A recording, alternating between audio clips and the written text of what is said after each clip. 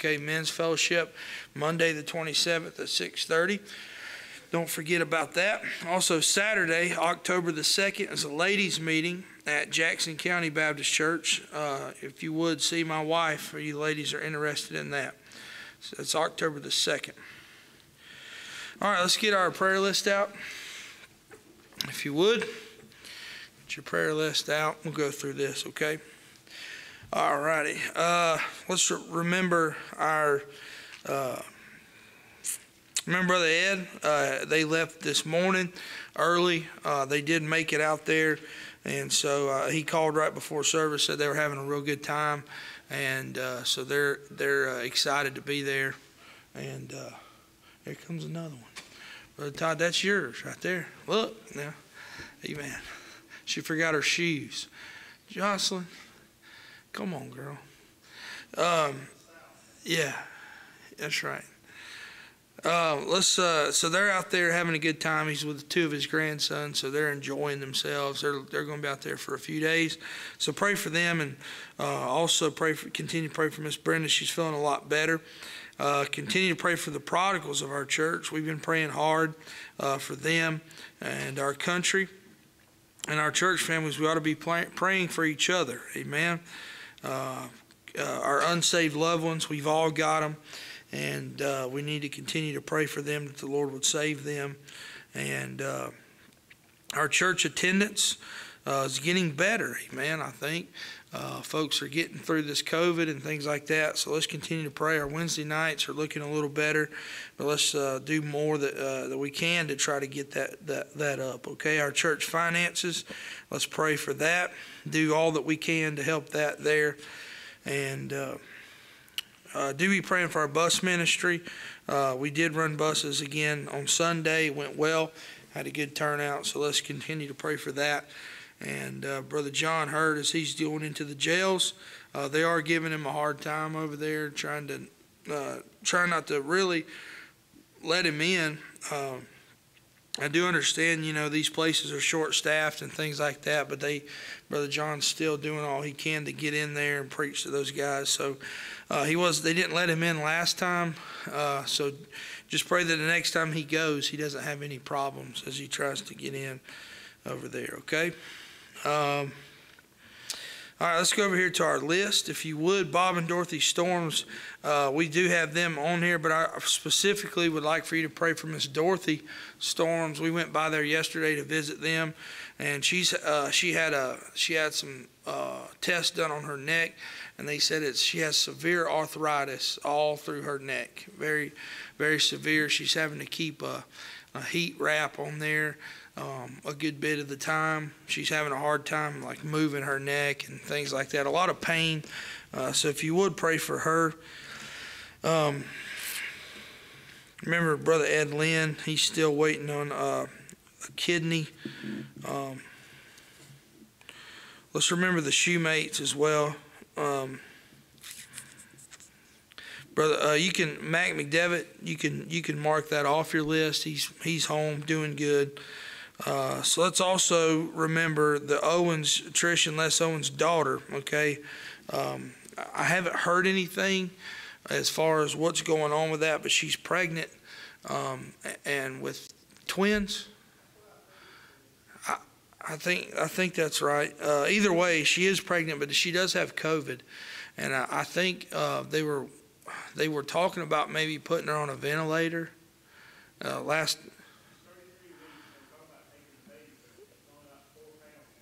Yeah.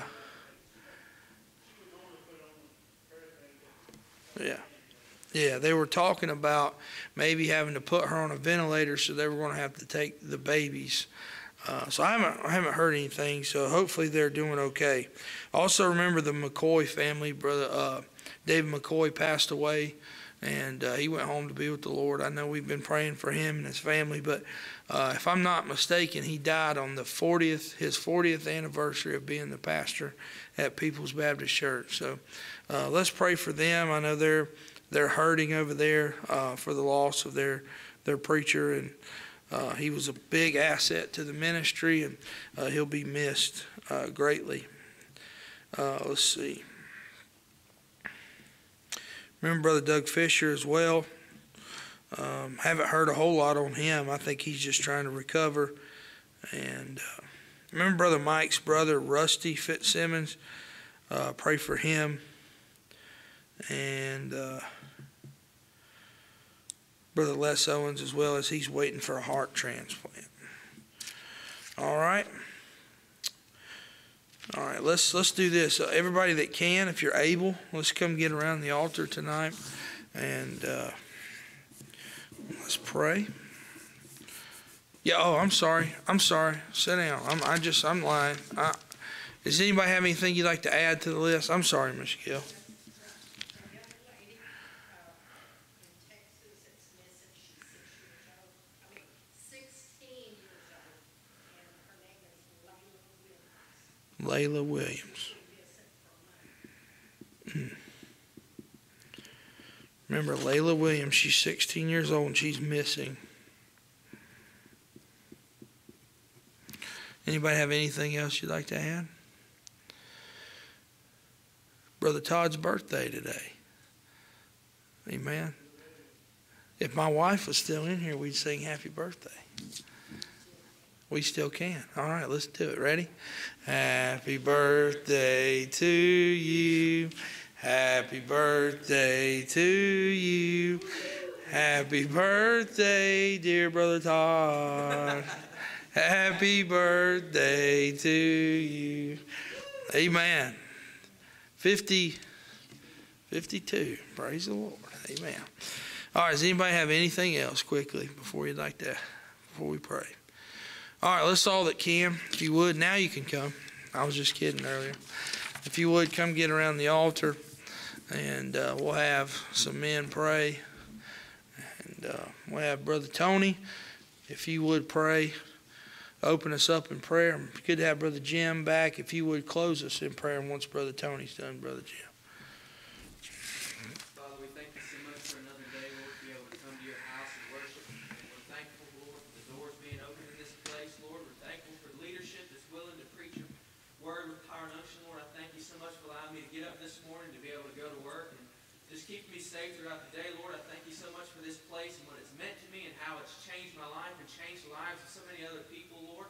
I thank you so much for salvation and for Jesus Christ dying on the cross for my sins. Lord, I pray you help those of us here tonight, Lord, all those that uh, are here, Lord, help us whether we're struggling either mentally or physically, Lord, we're still here, Lord. I pray you give us um, comfort where we need it, give us strength where we need it, Lord. Help us to change what we ought to change and help us help us to be strengthened where we ought to be strengthened, Lord. I pray that you help us to be attentive to your word tonight, Lord. I pray you help Brother Jesse to preach with power and unction tonight, Lord. Use him in a mighty way. Lord, help us to come away from this uh, service changed, Lord, and, and strengthened in our faith. And Lord, I pray you help us to go home safely tonight and bring us again Sunday. Lord, we love you and we thank you for all that you do. In Jesus' name. Lord, we just continue in prayer, thankful for this church, ask that you bless it. Lord, we ask for soul saving, his heart's gotten right with you. Lord, we just ask that you bless our preacher, Brother Jesse, Miss Kelly, Lord, Reese, and their family, Lord, that you just bless them. Uh, Lord, we just ask for all of, all our families that's unsaved, Lord, that you would touch them and get saved. Lord, ones that's backslidden out of church, Lord, you just get a hold of their hearts. We ask that you bless our country, get a hold of our leaders, one nation under God, Lord. We just need your help and your guidance. We need you back in our, back in our homes, back in our churches, back in our schools, back in our, in our country. We just need your help and your guidance. Lord, we thank you for all that you do for us. We just ask for all these prayer requests for the sick, Lord, that you would just touch them and heal them. Lord, we just ask for uh, Brother Ed as he's traveling, Lord, that you just touch him. Lord, for the David and Coy family, Lord, that you touch them in the church. Just be there. We just thank you for all that you do for us. It's in Jesus Christ's name we pray. Amen.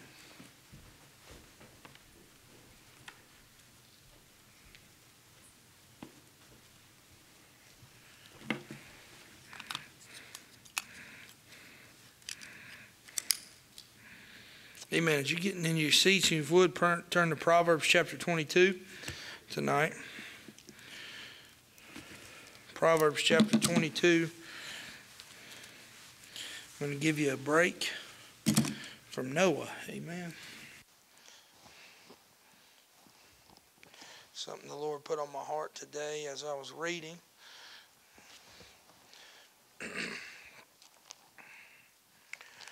Proverbs chapter number 22, look at verse number 28, if you would. Proverbs chapter 22 and verse number 28.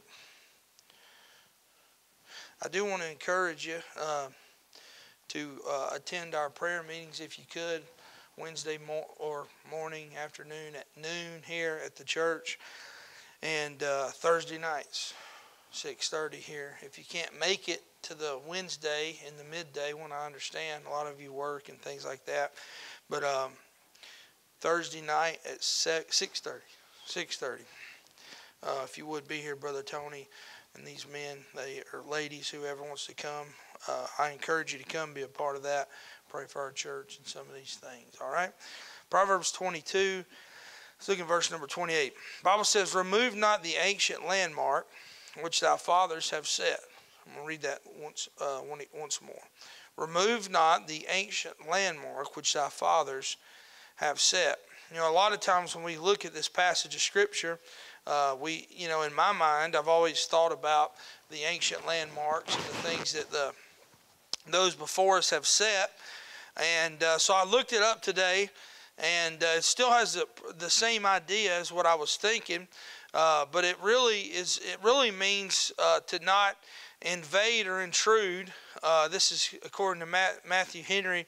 to invade or intrude on another's property, to not steal, uh, from your neighbor's land, so to speak, uh, to add to your own. See, these landmarks uh, were really essentially fence rows or lines.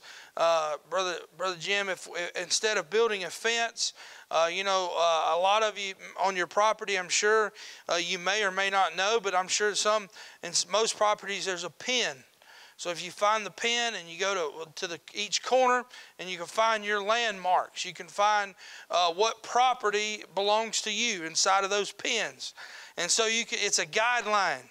It's a property line essentially. And so what they're saying here is is remove not those ancient guidelines, those ancient landmarks, those uh, those things, those uh, those markers uh, to show you where you are to stay and where you're not to cross. Amen. And so I was reading that today, and I looked up the meaning, and uh, so I, you know, before I was thinking you know the different things that the you know our our forefathers and preachers before us have set up things like that for us to uh, to go by and guidelines for us to go by and that's essentially kind of the same idea but it also on the other hand it's not and so I thought about that tonight. I thought about those barriers. I thought about those lines and I thought about those markers in our life and what, it, what the harm would be if we were to remove those things or to move those uh, markers from our lives. And he does say here, uh, he uses the word remove. Amen. Uh, to take away, to do away with. It's let me just say this. It's important for us in our lives to have lines. Amen. It's important to have guardrails. It's important to have lines that we do not cross. Amen. It's important for us to have uh, boundaries set up in our Christian life. It's important for us to have boundaries set up in our spiritual life. It's important for us to have boundaries set up in our home. It's important for us to have boundaries set up in our marriages, uh, in, in our with our children. Lines that we set that we that we just that we just don't cross and that we don't remove. Uh, no matter how uncomfortable it gets, no matter how, uh, how, how, how tight it may seem at times, uh, but it's important. It's crucial for us to have lines. Amen. Biblical lines. Things that we set up that are spiritual, things that we set up that are going to help us in our Christian walk, in our Christian life. Amen. Uh, so number one, if you're taking notes, when you move, when you move the landmarks, it adds confusion. When you move these landmarks, it adds confusion. How? Uh, well, because you don't really know what's yours and what's who else's. Amen? And we all know that who's the author of confusion? The devil. Amen. He's the author of confusion. So if we move these lines, whether we bring them in closer or we push them out farther, then we're confused as to where they are supposed to go back to. Amen. I don't know if you've ever uh, walked a property or anything like that, but uh, you know we've had different hunting properties over the years, and and and we try to try, try to find our line. Why? Because you don't want to cross that line. Amen. From around around here, if you cross the line, it might cost you. Amen. We're in Georgia. Y'all know what it means to cross somebody's property line. Amen. And it's not good. Amen. Y'all, y'all have heard the story about the coon dog that was hunting one night, went hunting, and that dog, man, he, he was on a hot track. And y'all know what that means? He's tracking a coon. He's loud. He's barking. All of a sudden, he gets real quiet. Brother Jim, you, you don't hear him. And the guy, you know, he's hunting with him. He, he's looking at this dog. He's wanting to buy this dog from this guy. And he said, What happened? He lost the track. He said, I don't want that dog. He said, Hold on a minute. And then all of a sudden, he starts barking again. He said, All he was doing, he was crossing posted land. That's all. Amen. He got real quiet when he crossed that posted land. Amen. So you know it's important to know your lines. Because if you don't, it's confusing. You get real confused. How can we be confused if we draw, if we lose the lines. Number one, it, it, it gets confusing spiritually. It gets confusing spiritually. Because if we start to cross lines and move landmarks in our life, and we begin to, uh, if we begin to blur the lines, then we just we don't know what's what. Amen. Spiritually, we don't know which ways which way to go. Uh, we don't know. We don't have any kind of barriers to show us, any kind of guidelines to hold us to what's right and what's wrong. Amen. Listen, and today our society is doing a great job at blurring the lines. Amen. They've even gone so far as to blur the lines of gender. They've gone so far as to blur the lines uh, of, of, of uh, of male and female and uh, who to marry and who not to marry and uh, what bathroom to go into. Amen? And so it's important, it's crucial that we have lines, that we have guardrails, that we have landmarks because spiritually speaking, if we if we throw these things out, if we don't have guidelines to go by, we, we begin to die spiritually. We get confused spiritually. How is that? Well, we ought to have landmarks set up such as daily devotions. Amen? Daily devotion, a daily prayer life. And if we don't have those things set up, we begin to get confused and begin to think, well, maybe I don't need a daily devotion. Maybe I don't need a daily prayer life. Maybe I don't need a daily walk with the Lord. Maybe I can get by just once a week. Amen? We got to have these things set up. It also causes confusion scripturally. Scripturally. In our life, in our Christian uh, life today, a lot of churches are, are confused on the scriptures. Amen. The Bible says to rightly divide the word of truth. And we're in this, we're in this for some reason, we're in this whacked out generation of, that, that's my generation, Brother Todd. It's my generation. Now, they, now they're, they're, they're veering from the King James. I don't understand that. Why? They're confused. Why? Because they moved the lines. How did we move the lines? Well, I don't know. Maybe they started hanging out with somebody that wasn't King James. They started listening to somebody that wasn't King James. They started following and reading after people. Listen, that's moving the lines. And I understand all the time, listen, some of these other guys, they have good stuff that you can read after, follow after, and that's fine. But listen, when it comes to certain things, Brother Jim, we should never move the landmarks.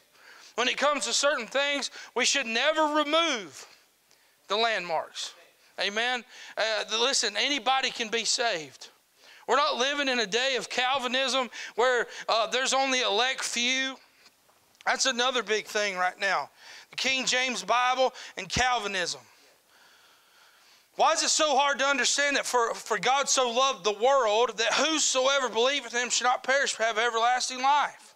How hard is it to believe that whosoever, whosoever shall call upon the name of the Lord? That's not hard to understand. And listen, but the lines have been moved and the landmarks have been moved. Now everybody thinks it's just an elect few. That's not what my Bible teaches. Amen. My Bible teaches me that if I pray and ask the Lord to come to my heart and to save me, then that's what it is. Amen. But so many so many people, so many places, they're, they're confused. They're confused. It's important for us, listen to me, to understand why and how and why we believe these things. Amen. They've gotten themselves confused scripturally, spiritually, and when it comes to the topic of separation. When you move those landmarks, listen, Bible tells us to come out from among the world and be separate. Be separate. Now, when you walk in some churches today, Brother John, you don't know what's what. It looks like a rock concert. I was talking to, I was talking to uh, Brother Ed the other day. He went and visited a, a local church here. Uh, not going to say where. Said he lasted about 15 minutes. He said it was a full-on rock concert. He said he looked over at the, uh, another older gentleman next to him. He said, "Is this their music?" He said, Yeah, they'll do this for about 30 minutes. So he got up and left.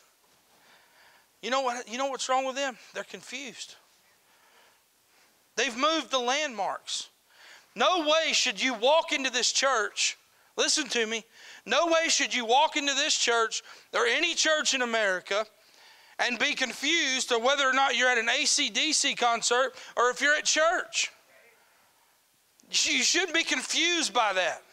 We shouldn't walk into church and wonder, is this guy going to preach or is he a stand up comedian? You ought to know that he's a preacher because he carries himself like a preacher, because he looks like a preacher, he acts like a preacher, he talks like a preacher. Amen? He's not calling you dude and saying, What's up, man? He's not calling God dude. And I've heard them do it. They're confused. Don't move the landmarks. Don't move them. We need to leave them where they are. Amen. Secondly, when you move the landmarks, when you move the lines, it causes contention, not only confusion, but it causes contention. It causes contention outwardly. As I was saying a minute ago, when you cross lines, you got a problem with your neighbor. Amen. I lived, the house we just sold, it was two acres. It was a perfect two acre square in the middle of a hundred acres. We were dead right in the middle. And I, when we moved in, you know, I, I didn't want to cross any lines, Brother John, because the guy that lived at the end of the road was crazy. Amen. Lives in a camper with no heat and air, no running water, no electricity, and he's got guns leaning up against trees out in his yard. All throughout it, all, all on his yard. And I thought he's probably got bodies buried up there. Amen. He came down and finally introduced himself to me. He said, Hey, man, we'll get along real good as long as you ain't got no cats. I was like, What? He said, I kill every cat I see. I was like, Praise the Lord. We're going to be good neighbors. Amen. I'm just kidding your cats are safe. Amen. And so, and, and so I thought, you know, I'm not going to cross this guy's boundaries. I'm going to figure out where mine are, and I'm going to put some pins up, and I'm going to stay on my side of the fence. Amen. Why? I didn't want no contention with this guy. But turns out he was a cool guy. He let me just hunt and do whatever I wanted to do. But when you cross lines, you begin to create enemies. Amen. Because why? There, there comes a certain point, Brother Todd, where I have to draw a line in the sand and I say, I can't fellowship with you anymore. Amen. There's been preachers that I know that I have to say, okay, I, I can't fellowship with you. Why? Because you crossed the line. You say, I don't know about that, Brother Jesse. I don't know if that's right. Well, I, I remember I remember several places in Scripture where the Lord drew some lines when it came to the Pharisees. Amen. He's telling us right here don't remove the landmarks, don't remove the lines. Man, when it, when it comes to compromise, when it comes to moving these lines, it causes contention outwardly. It also causes contention inwardly. How's that? Because then you begin to wonder well, you know, I've been following this way for so long. Is it is it right or is it wrong? You know, that's the problem we're having right now with some of these some of these guys that uh, uh, these recovering fundamentalist guys. Because because now they're now they're telling all these people that got saved in independent fundamental Baptist church that that all of that was wrong. It was good for them to get saved in. It was good enough for them to get saved in and called to preach in and get raised up in, but now all of a sudden it's just not good enough. And you know what they're doing? They're causing contention. They're causing contention in our churches. They're causing contention in amongst preachers. They're causing contention amongst families. And it's wrong. Why? What did they do? They moved the lines. They removed them. They completely removed them. They, well, they, well, we don't need to do this anymore. It's not necessary. We don't need to do this anymore. It's not necessary. I had one the other day on Twitter. He said we don't need American flags in our churches anymore.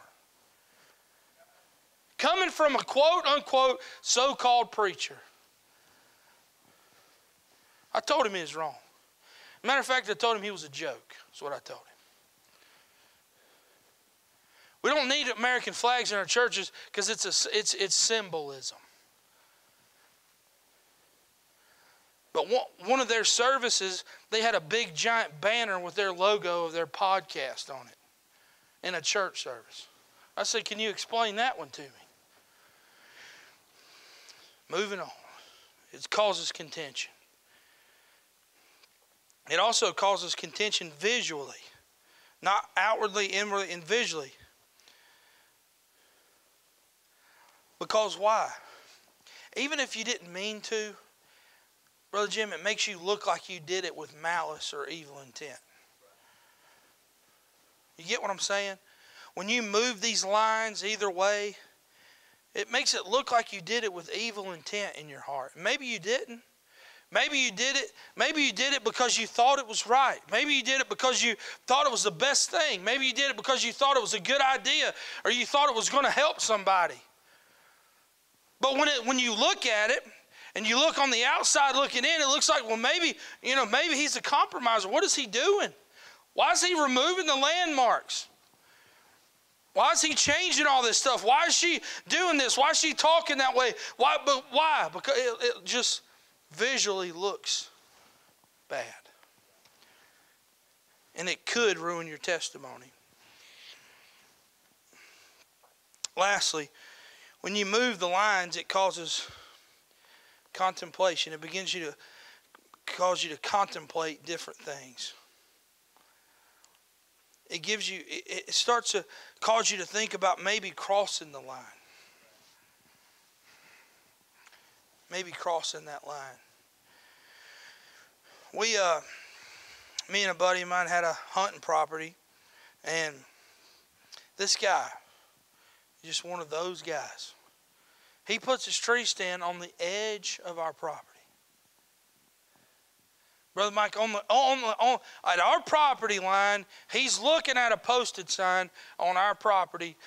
One tree over, he sets up a tree stand. Amen. Just one of those guys. Well, you know what happens most of the time when you shoot a deer? or something, it could run over on somebody else's property. Or if you're sitting there in that tree stand and there's a big deer over there on our side, what are you going to think about? I bet you I could kill that deer and drag it over here on my property for anybody knows. Right? When you're sitting on the line, you begin to be tempted and you begin to think, well, maybe it's better over there. Maybe I can get away with this over there. Maybe I can get away with just easing over there and coming back, and easing over there and coming back, and easing over there and coming back. But there's consequences. There are consequences to this. Amen? How? Why? Because we called the game warden. And we called him on our side. Amen? He was hunting ne- the next year, he done moved a little closer, Brother Shannon, and he was over across the line. Mr. Green Pants got him a ticket. Amen? You, that, there's consequences. When you're sitting on the fence and you're sitting on the line, and then if you've removed the line and you don't even know where it's at anymore, it can cause a lot of pain, a lot of loss, a lot of suffering to your family.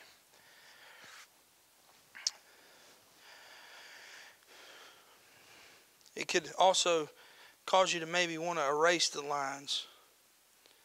And eventually, eventually, you forget the lines. You know what my burden is? Is that group of kids back there in that room. That's my burden. Why? Because they're the next generation. And Miss Gail, if we've erased the lines and we've removed the landmarks, they're not going to know what to go by.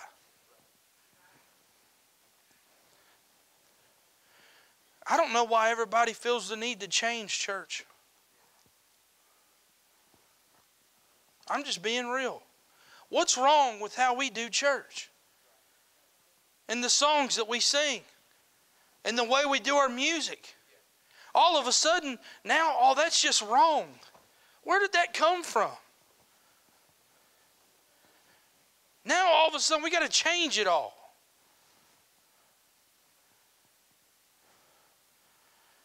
And they're not even going to know. They're not even going to real, they're not even going to get to experience the services that you've been able to experience in your lifetime.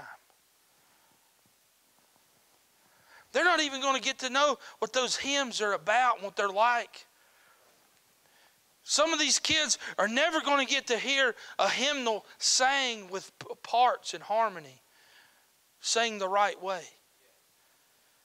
They're never going to, they're not, listen, some of them, some of them, listen, they're, they're not even going to use a King James Bible. Why is that so important to you, Brother Jesse? Because it's right. It's right. We got to hold the line. Clean, listen, clean the weeds off of it. Make sure everybody sees it. Make sure everybody knows where it's at, Brother John. Make sure them bus kids know where the markers are so they don't destroy their life. We don't have to change anything. We don't have to change this. We don't have to change anything. Listen, preach the book, preach the Bible, share the gospel, spread the gospel. That's all we got to do. We don't have to change nothing. Amen. I don't have to try to be cool to reach anybody. I just gotta have, I just gotta have the gospel. I don't have to look cool. Amen. Even though I am, somebody help me. I don't have to look cool. You know, we don't have to appeal to the to the world. When, when, sinners come into this church, we ought to love them, hug them, give them, listen, give show them compassion and love, but they ought to be uncomfortable here. Because we, sin makes people uncomfortable. They ought to be able to see the landmarks and see where we stand. Amen. Remove, he said, remove not the landmarks. Amen. Heads bowed and eyes closed. Heavenly Father, God, we thank you for the opportunity we've had to be in your house tonight. I thank you for the landmarks that have been set up before us by preachers before us and the Word of God and these things. But Lord, you know, I know this passage of Scripture may not necessarily be speaking of that. Lord, I pray, God, that you'd help us to keep the lines where they are, to preach it like you told us to, and to do it like you told us to, and spread the gospel like you told us to, and sing like you told us to sing, and love like you told us to love, and have compassion like you did. And Lord, I pray, God, that you'd help us now as we leave. God, that you'd keep us safe, bring us back once again safely on Sunday. We'll be sure to thank you. Give us a good day Sunday, a good crowd. Pray, God, that we'll have a good time fellowshipping with each other. We'll be sure to thank you and praise you for it in Jesus' name. Amen. All right.